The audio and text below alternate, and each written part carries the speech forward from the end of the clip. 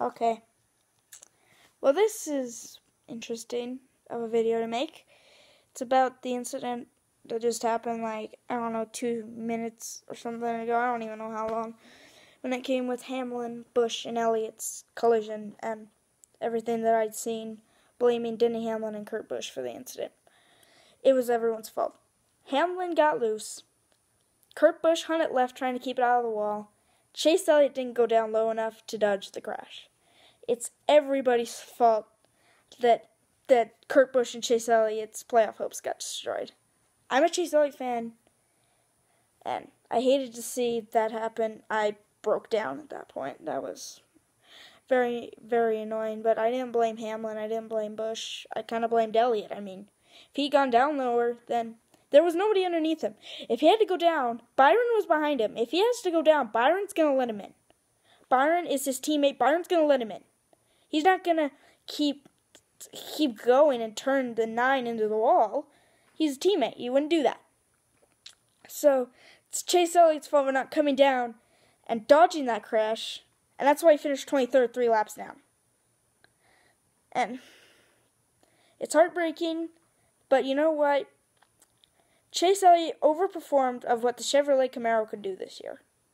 He was not he he didn't do very well at the beginning of the year, but then once the Chevrolet Camaro started to develop, well he well he won three races, two in the round of 12. It was sad to see him go the way he did, but you know what? There's always Homestead. He can always win that. And you know what? Next year is a brand new year. It'll be the second year for the Chevrolet Camaro, and that should hopefully be enough to maybe make it so it's just not Chase Elliott and Austin Dillon as the only Chevrolets to win this season. But I want to make this video being like, guys, it's everybody's fault. The fact that Chase Elliott's championship hopes are gone. I know there's a lot of Chase Elliott fanboys, including myself, who are incredibly hurt by this and just want to take out the blame on somebody. And since we all hate Denny Hamlin because of what he did at Martinsville, this isn't like Martinsville. Martinsville, he took Chase Elliott out intentionally. Well, not inten- well, maybe intentionally. He bumped him right out of the way, turned him. So, I mean, there, there's actually a, a reason. I, what are the words I'm looking for here?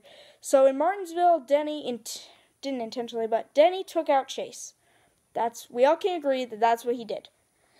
In this one, it was more Kurt Busch who took out Chase because he tries trying to hunt, hang it left, didn't see the nine coming. Of course, he doesn't mean to take out the nine. He doesn't want to take him out, but what does he do? He does.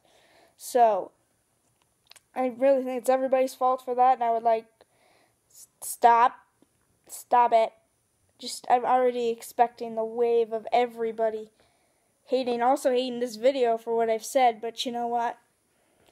It's truth. So, anyway, I hope you guys enjoyed, and I'll see you next time.